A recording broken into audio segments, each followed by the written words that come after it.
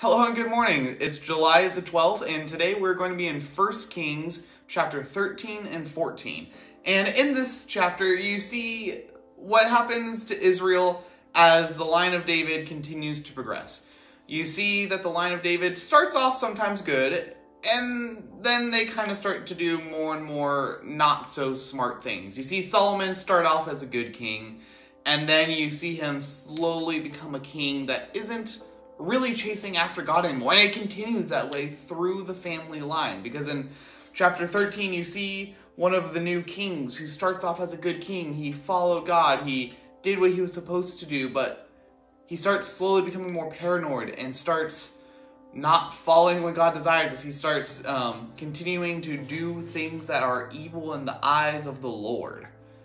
And when he does that, it just ends up poorly for himself and the nation and all of the Israelite people. And it makes me stop and think, man, how many times have I done that in my own life? How many times have I done the same thing where I start off strong, where I start following God super well, doing all the things that I know God has called me to do, and then something happens to where I get paranoid to where, oh, I bet you um, people don't at my work don't like talking to me anymore because they think I'm just that Jesus guy who's gonna um, shove religion in their face constantly, or oh, I bet you um, this is or this are going on, and I just lose focus on what God actually wants, and so I stop following Him as closely. And I'm sure some of you guys have probably felt the same too. You have all probably been in my shoes before of you are following God, doing what you are called to do, and then you get to a point where you are no longer doing just that. And it's a rough place to be in. To be in a place where you are no longer with God, you are no longer um, following what He has called you to do, and you just kind of wake up one day and go, man, what's happened in my life? But here's the cool thing though.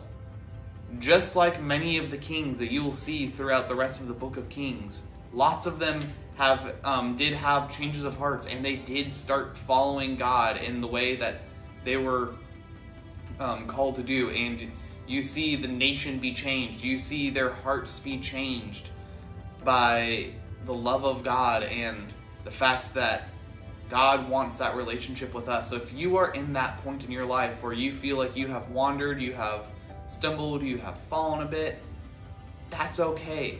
God still loves you. He still wants that relationship with you. And it's not too late to repent, to do a 100 an 80 about face and turn around and start moving in a new direction back towards God.